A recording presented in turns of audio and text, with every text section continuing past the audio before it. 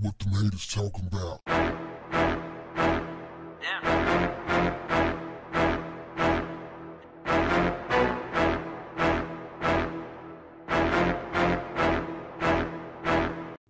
What's up, family? Actress LisaRaye McCoy is going viral after she volunteered to be Will Smith's side piece.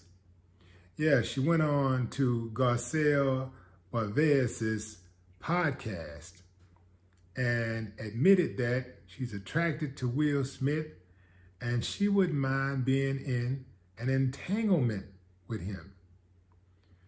Y'all can recall the word entanglement has been around for a long time, but it recently became a part of pop culture when Jada Pinkett Smith called herself to the red table with her husband Will to talk about August Alsina and her affair. Now, LisaRaye is being called a home wrecker. I did not know that she was called a home wrecker in the past. They say that she was involved with Gary Payton, a married Gary Payton, back in the gap. Do y'all think it's disrespectful for, for Lisa to tell the world that she wouldn't mind being entangled with a married man? Is that disrespectful to Jada Pinkett? Of course it is. What's wrong with people these days, fam? Man, people ain't got no respect whatsoever. Now, when LisaRaye uh, made this claim, Garcelle berated her. And then when Garcelle started berating her, she tried to clean it up a little. And she said, well, I meant a Will Smith type. You know, he's, he's, he's rich, he's poetic, he's a philanthropist, he's a great dad. The man's a great dad, and he got a family, and you respect that. Why would you try to interfere with something like that? And I think she was dead serious. One of the reasons why she liked Will so much is because she feels that he's this great guy. But that's a whole other can of worms because, you know, a lot was revealed in that talk that Will had with Jada. So it's kind of like mm, Jada kind of opened herself up for this, right? Lisa Ray, I think, is like 52 years old or something like that.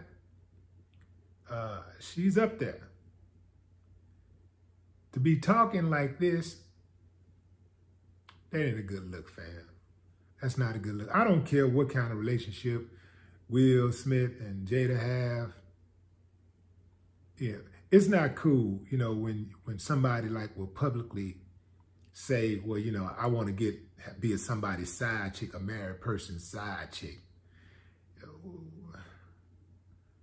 Where we going, fam? Where we going?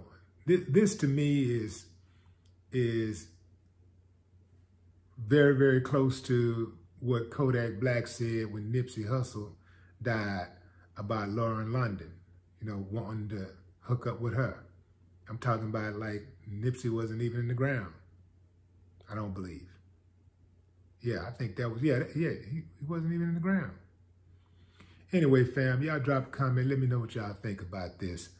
I just want to I want to make sure it ain't me. Make sure I'm not tripping. You know, is this the new way? Like, just be totally disrespectful? Just go online and get on a show and straight up tell somebody you don't mind being a side piece? You know, it used to be something to be the main woman. You know, being the main woman used to be like a, used to be the goal. And it just seems like people settling into the side chick role, the side dude role, like, and they're proud of it. Like, it's like it's an actual, like, like it's some type of accomplishment. like accolades come with it or something. Fam, is, is this what we really are? And if we are, what do we do to reverse the course? Drop a comment, fam. I'm looking for ideas. No more talk.